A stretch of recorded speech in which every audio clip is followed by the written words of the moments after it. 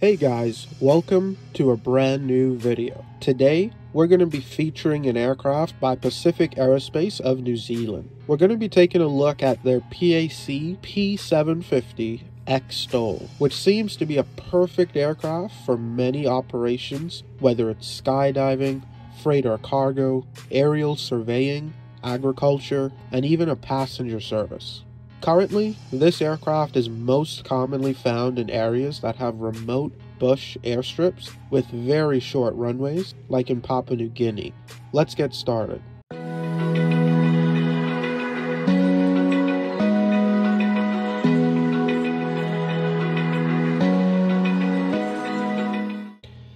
This aircraft has such incredible performance that it required a class of its own. Many of us are way too familiar with STOL aircraft, but this aircraft has extremely short takeoff and landing capabilities, and that's how the X-STOL class of aircraft was made. This is the world's first production X-STOL aircraft. X-STOL literally means that the aircraft has the ability to take off and land in less than 800 feet or 244 meters, while carrying a load greater than its own empty weight.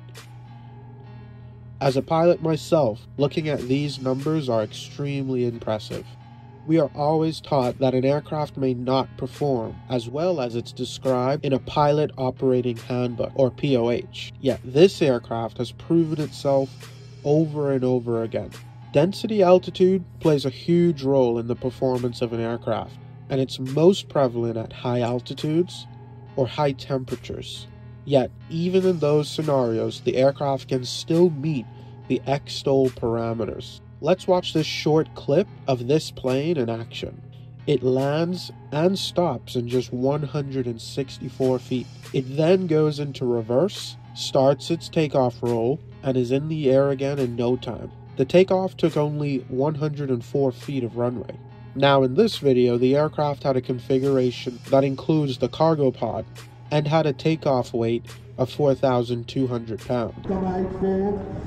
height is 404 meters, 28.34 square meters of wing area. How's that for a Stopping very, very short. You can that in your neighbor's backyard, reverse, and I will just show you, hopefully again, the short takeoff. You measured it at about 50 meters, 52 meters exactly, 52 meters. Still holding the record. This is Chris Briggs in the Max 750 XL. Now I know, you're probably thinking that it's such a small aircraft and it likely cannot carry many passengers. While you wouldn't be wrong in thinking that, when compared to other aircraft flying into the airstrips that this plane can operate from, this aircraft wins big. It all comes back to that X-STOL capability. Most competitors of this aircraft would need to sacrifice payload in order to continue operating. That would require those aircraft to make multiple trips for the same goal, which could take a lot of time and money. But our PAC P750X STOL aircraft would still be able to carry more payload to get the job done. In its passenger configuration, it can hold up to 10 passengers. In its skydiving configuration, it can carry up to 17 skydivers. Another cool feature of this plane is the ability to do quick changes of configurations. Due to its quick change modular floor system, the flight deck of this aircraft features traditional round gauges partnered with a Garmin 430 or 530 avionics suite. Now, let's get into the technical specifications of this aircraft. It's powered by a Pratt & Whitney Canada PT6A-34 turboprop engine that produces 750 shaft horsepower. That's partnered with a standard 3-blade Hartzell propeller or an optional 4-bladed propeller.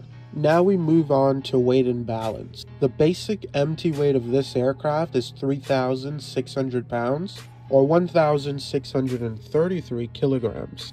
The maximum ramp weight is 7,540 pounds, or 3,420 kilograms.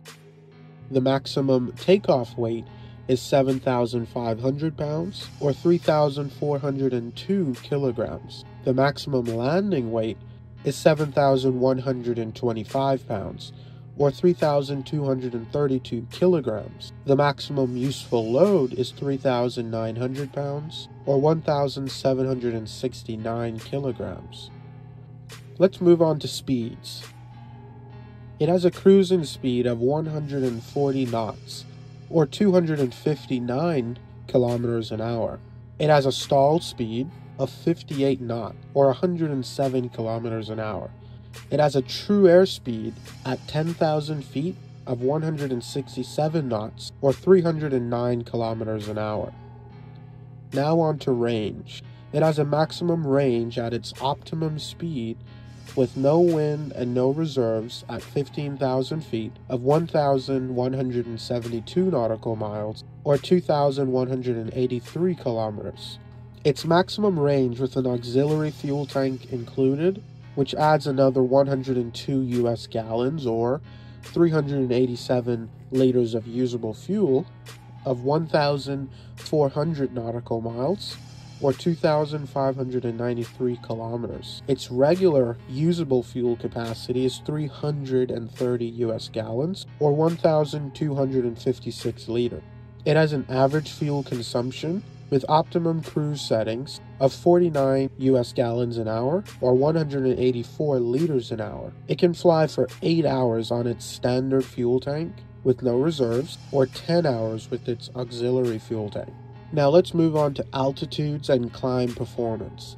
It has a maximum operating altitude of 20,000 feet or 6,096 meters it has a service ceiling at maximum weight of 25,000 feet or 7,620 meters.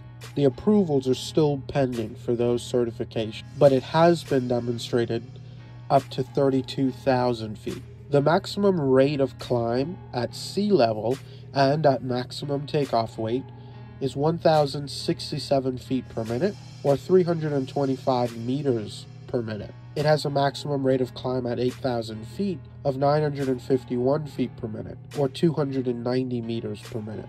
For a climb up to 12,000 feet from the moment the brakes release for the takeoff roll, that would take 14 minutes. So that concludes this video on the PAC P750 X STOL aircraft. What do you think about this aircraft? Have you seen one, or even better, flown on one before?